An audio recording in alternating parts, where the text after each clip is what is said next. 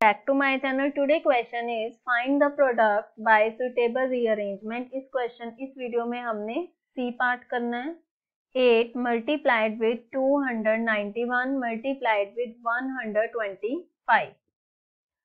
तो सबसे पहले 28 को 125 से मल्टीप्लाई करेंगे क्योंकि पीछे यहाँ पे 5 है और 5 को जब हम 8 से मल्टीप्लाई करते हैं तो हमारे पास ज़ीरो आता है यूनिट प्लेस पे तो हम यहाँ पे 125 को मल्टीप्लाई करेंगे 8 से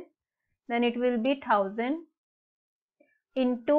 फिर हम मल्टीप्लाई करेंगे। इसके साथ मल्टीप्लाई करेंगे तो इसके पीछे भी कितनी जीरोज आ जाएँगे? थ्री जीरोज तो two lakh ninety one thousand this is your answer I hope it will clear to you thank you